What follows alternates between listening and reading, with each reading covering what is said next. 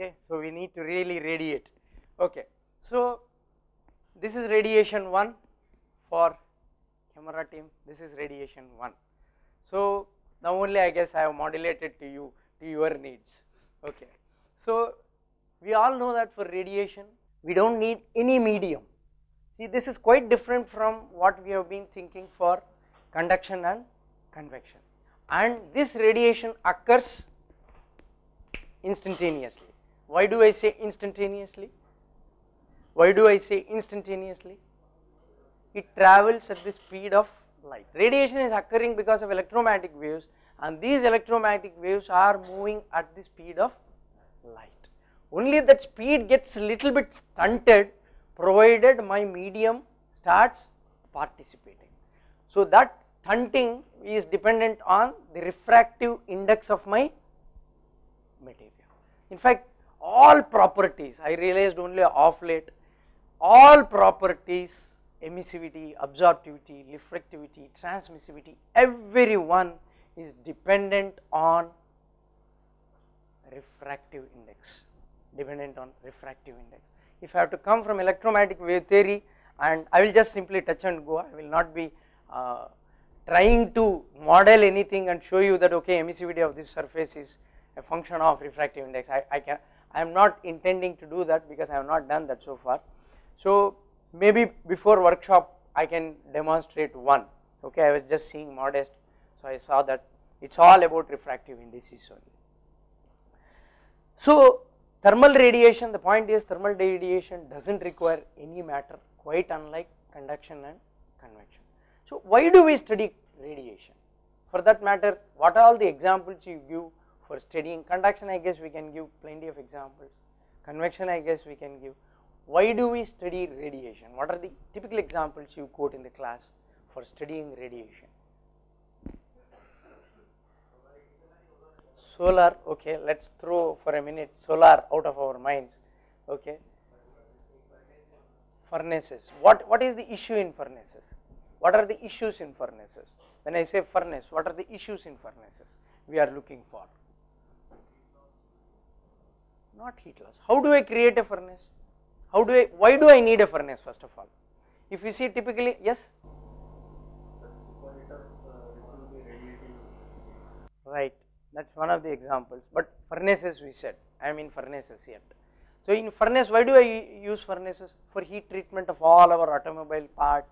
Almost all our equipment whatever is there it undergoes heat treatment. So for heat treatment my furnace either has to be electrical heater or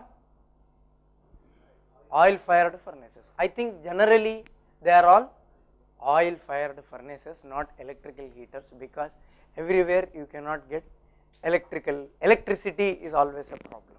Now the question is a furnace is typically a room of this size it can be much bigger than this actually we have uh, I have seen at least furnaces just across Ghatkopar that is just uh, 10 15 minutes from here furnace is much double than this where they keep almost you can drive in a car and keep it inside.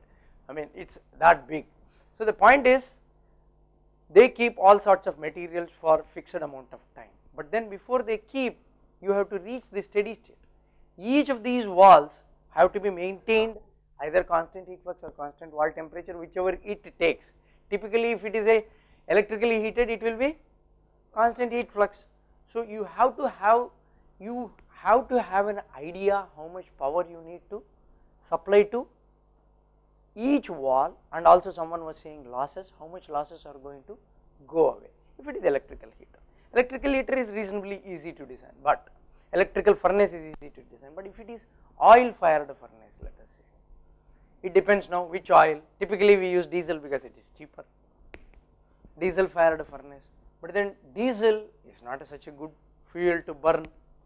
We all know diesel diesel is not such a good fuel to burn.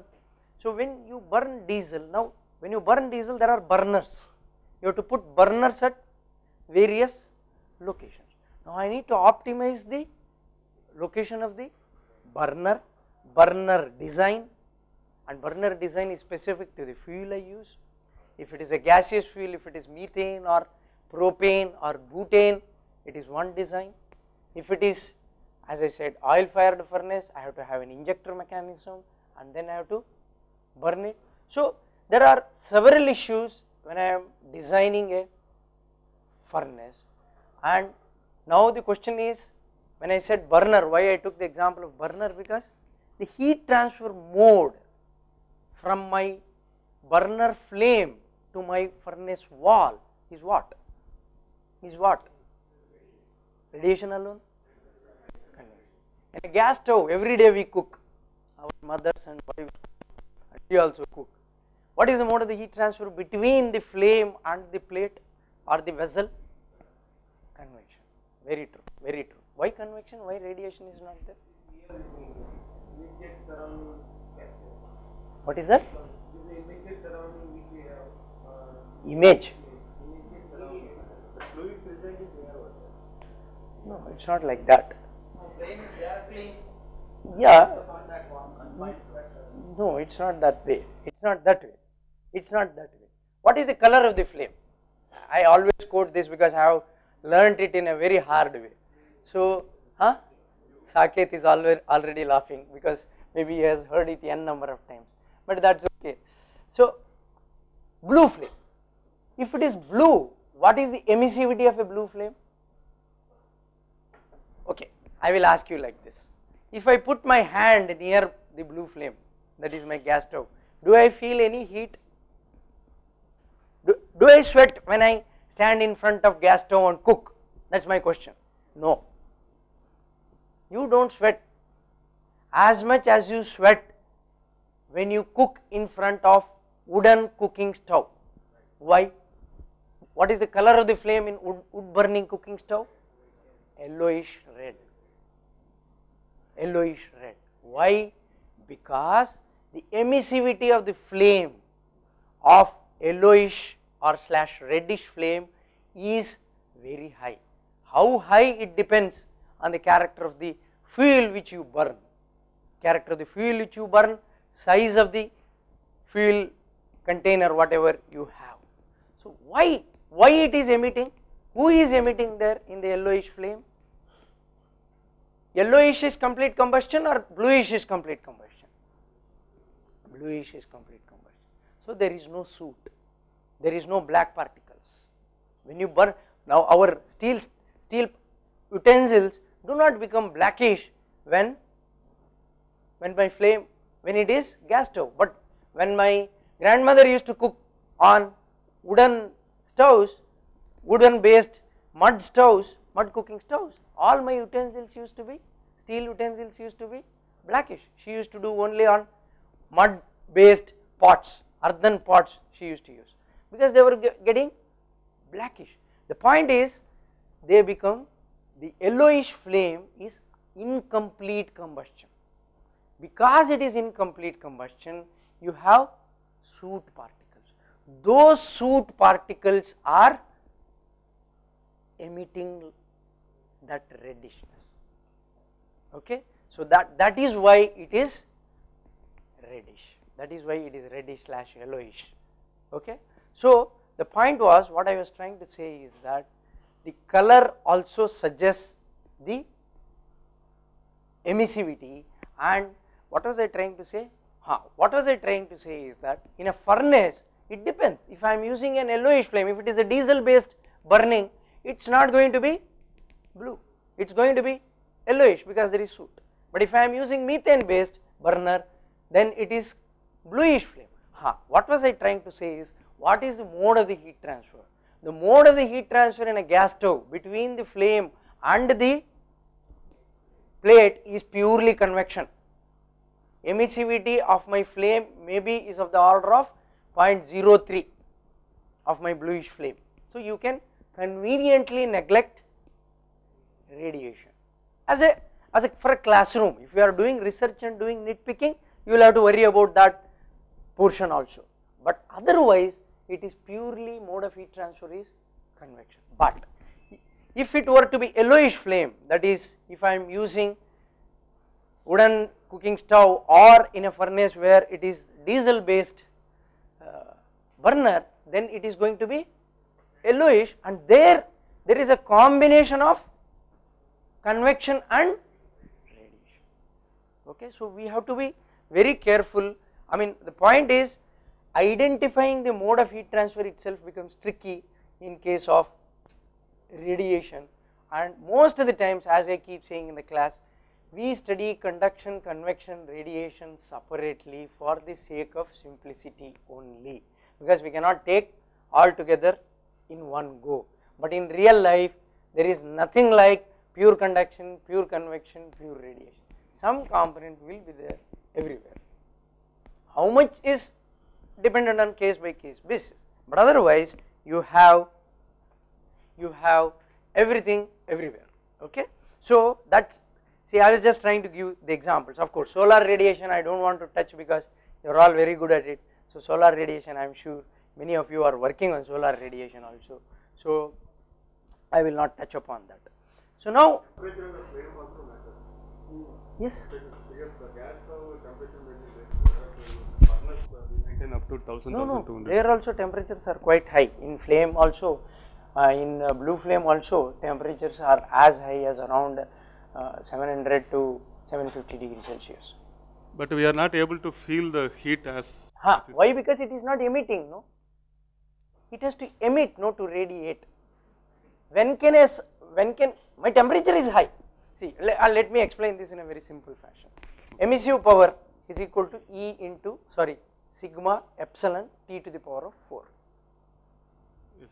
any body which emits sigma epsilon t to the power of 4. Your point is my T is going to be 750 degrees Celsius. How come you are saying there is no radiation? Is that right? That is what you are saying. So my point is epsilon is 0.03. So its component will be less. very less. My heat transfer coefficient on the other hand in a gas stove, in a heat transfer will be very high. It will be of the orders of thousands. It will be of the order of thousands. So convective component will be quite high compared to radiation. Who is pulling it down because of my epsilon? Because of my epsilon of whom? Epsilon of my flame. I hope I have reached you. But the furnace also we have the same problem, soot formation. Uh, if it is if my flame is yellowish if my flame is yellowish only i get this soot then there is emissivity if there is soot means what there is unburned. emissivity then radiation becomes important. Is that okay? Is that convincing? Okay. Yes. Blue flame is just like a hot gas very well put very well put. You can take it that's why i am saying it is convection. It's like a hot gas coming and heating my cold plate. That's very well put very well put. Yeah. So now coming back so radiation doesn't require any medium so we always quote this example this also i have copy pasted from Cengel so if i sit in front of fire if i sit in front of fire although my the temperature of the fluid between me and the fire is less the radiation takes place and I feel the heat. But at the same time in radiation I need to be worried whether I am facing the fire front or sidewards. Okay, so because you know everything, so I can go farther and come back. That that's what is that concept. How do I factor in this concept? Whether I am facing the fire or facing sidewards. How do I factor in this concept? View factor. That is view factor. How much I am weaving how much the source and sink are in which way they are weaving each other that is the view factor okay view factor sidewards should be lower than the view factor otherwise okay okay. So now let if i take this is just a thought experiment which suggests that i have taken a body whose temperature is quite high compared to the surrounding temperature and my enclosure is at a surrounding temperature and there is no medium inside and eventually this body attains the temperature of surrounding. This demo demonstrates that there is a heat transfer even in the absence of medium so this is just to suggest, that there is radiation even in the absence of medium. Okay. So now as i said little earlier the radiation takes place through electromagnetic waves and electromagnetic radiation energy is passing through waves and this wave is passing at a speed of light and in in vacuum. If it is in vacuum it is going to velocity of the speed of light is sorry speed of light in vacuum is 2.998 into 10 to the power of 8 meters per second. And n if it is a any given medium c is going to get decreased by as much as the refractive index. So C naught by n. Typical refractive indices are for air and most of the gases it is near 1 for glass it is we have done this in plus 2 I don't I don't know whether you recollect we have measured in plus 2 refractive index of water as 1.33 I remember adjusting the angle to get 1.33 so that's how I never used to get the alignment of prisms properly. I was a hopeless experimentalist at that time. So but my teacher used to insist that I need to get 1.33 so I had to do that. So glass 1.5 so now what does this say? The main observation is that the lambda and c you can imagine a wave you can imagine a wave and it is going to have a wavelength. What is a wavelength between two peaks or two troughs is the wavelength okay?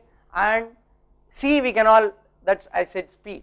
So this wavelength and the speed with which the light or the electro not the light electromagnetic wave or okay light passes through that medium they are dependent on the source. Sorry they are dependent on the medium through which my electromagnetic wave passes. But the frequency frequency is dependent on the source. Frequency is dependent on the source. This we have studied in physics. So now frequ frequency to wavelength is given by lambda equal to c by nu okay? And then see this is history we have studied there also I mean in plus 2 also. We handle I mean now only I realize while reading thermal radiation optics. If I can understand optics well I can understand thermal radiation. Why? Because electromagnetic wave is moving like a light wave. And we have studied when in plus 2 our teachers were teaching us light wave can be quantified or can be understood as a wave and also as packets of energy. That those packets of energy are called as photons. And we married or, or we applied these to any of these to wherever it was convenient to explain any of the experimental observation. This is what we recol recollect from our plus 2 that is what we are applying here also okay. So each of the photon with a frequency is moving with a frequency nu is going to have an energy equal to h nu that is what Planck gave us E equal to h nu, nu is equal to c by lambda, h c by lambda and the Planck's constant is 6.625 into 10 to the power of minus 34 joule second. So now energy of the photon as you can see that it is inversely proportional to wavelength. That means shorter wavelength waves we will get to know this little later. The gamma rays and x rays are highly destructive because they are going to be uh, carrying larger energy. But this this figure I like always because this is what gives us the feel of various waves. I do not know from where I downloaded. This was I had downloaded 10 years back when I was in IIT Guwahati so but I still love this because I cannot get any figure better than this. Why I love this figure? Because the first what is that first line representing? Wavelength. The second is giving the size of a wavelength with a picture which gives us the size which gives me the feel of a size. For example now you see now let us for a minute let us go to the next line. Common name of the wave. These are radio waves, microwaves, infrared, visible, ultraviolet actually our domain is going to be only infrared, visible and a little bit of ultraviolet, soft x-rays, hard x-rays, gamma rays. Now how do I feel this wavelength? How do I feel this wavelength? What is the wavelength of infrared or microwaves? Let us come from radio waves. What is the wavelength of a radio wave? It is as big as a football ground. Okay. So, so now you can feel. Now same there are radio waves as big as football ground and also a house okay typical house or this room. Now let us come to microwaves they can be from a tennis ball or a baseball to a simple full stop what I put on my paper okay. Now my infrared waves start from full stop size to smaller than that as small as amoeba. That is I have to see through a microscope. Okay? See I think this is very important figure in the sense that I can reach my student not in an abstract way but with a physical feel. Otherwise wave is there wave wavelength it's having a high wavelength low wavelength. I am not reaching him. This is the only way I am see always we say no whenever we use another thing I want to tell whenever we use because we didn't intend to solve a problem. Whenever we say 3 meters what is 3 meter means? We have to give the physical picture of to the student. 3 meters means how many? Because I always think like this. This I have learned from readers digest. That is one foot how many foot feet is usually a building? One story building? 10 to 12 feet. Okay let us take it as 10 because calculation becomes easy. So 3 meters means 3 by 0.3 3 into 3 roughly 9 feet. So one story building. So whenever any unit is put across I should be I should be giving him the physical picture. Physical picture we have to give. That is what is happening in this. See when now when I imagine infrared wave or a electromagnetic wave which is contributing thermal radiation it is its wavelength is going to be smaller than full stop and as big as what I can see in a microscope. Okay? So that is what th then then I, I need micrometer. Then then comes the picture then comes the that means it is smaller than my hair size. I keep saying hair size always why? Because here I can see 75 micrometer. Okay? So it is smaller than that. It is smaller than that. So so this picture if you put people can or students can we can carry them along with us if I put this now of course so the where are the sources that you can see? There are various sources of each of these waves. I am not going to spend time on that okay? So that is about the electromagnetic. What is this? This is called electromagnetic spectrum. So now we will realize that in the next transparency I will go to the next one and then come back. This portion of ultraviolet a portion of infrared is the one which is which is going to contribute the thermal radiation. What does that mean? When I say these are the ones which are going to contribute the thermal radiation by virtue of temperature they are emitting energy. Okay? So that is that is what we mean by thermal radiation. Of course we will appreciate this when we plot the energy versus emissive power versus wavelength for different temperatures. You will see that only within this wavelength band there is emissive power contributed because of because of temperature because of temperature. Okay. So that's the that's why we say thermal radiation. Okay. There are a lot of blah blah. I think this we have studied in plus 2 violet what is the wavelength band? VIBGYOR we have all studied so i don't have to worry about that. So that's about the electromagnetic spectrum. Uh, question which was asked to my aunt when she went for a school teacher's interview physics. Why is traffic light red to indicate stop? Why not green?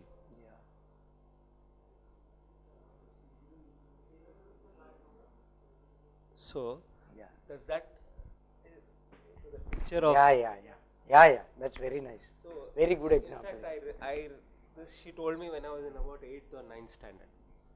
It was just stuck in my head you know it is such a beautiful question In fact, I learnt it very recently. Professor Anil Kumar from chemistry department, we have an enthuse program to enthuse all the PhD guys and MTech guys. He quoted this example. Why red is red and green is green for signal. Signal, why is it green? Because it is naturally there. So, everywhere in the nature, the most common color is green. So, so green is there, that is the reason it is green and red very rightly said, it has longer wavelength. So for longer, la larger, because I need to know that better I stop myself before I reach that. So that's the, see everything what he was trying to say is everything is there, we need to observe. Only when we observe we will ask the question why. If I don't even observe, I will not even ask the question why doesn't come into picture okay so anyway we got digressed but that's that's a beautiful example okay So now, now radiation is a volumetric phenomenon, but we assume that it is a surface phenomenon and we go ahead with that. So I don't want to spend time on that. And then the thermal radiation is going to be having, it's, it's going to be a function of, it's going to have direction and it's also going to be dependent on the wavelength. We have now seen each wavelength, we have differing wavelengths within our band that is within that what is that ultraviolet, infrared, visible all each one is having a different wavelength. So my radiation has to be dependent the emitted radiation has to be not only dependent on the direction but also dependent on the wavelength. For wavelength we use the word spectral distribution and for direction of course directionality okay. So we have to worry about spectral not only spectral but also directional distribution. So that is about so I think I will leave it to now Professor Arun he is the expert in this so he will do justice better than me that is our, our perception. Till now we have been relegating spherical coordinates to students for assignment. So I think it might be now I feel that it is a good idea perhaps even to derive spherical coordinates the heat diffusion equation. Now I feel, now I feel actually Cartesian coordinates the moment I derive Cartesian coordinates cylindrical let us give it as assignment. This is my plan for main workshop. I intend to solve it for spherical coordinates in the because by that time r theta phi is now little familiar. Registered. So I, I would request even when you are teaching instead of relegating spherical coordinates for assignment the moment Cartesian Cartesian I cannot do because if I take spherical in the first instance itself it becomes little complicated. So first let's do Cartesian but on a fast track let us do spherical. So I would think that doing spherical has a merit in itself because when we come for radiation it becomes that much easier.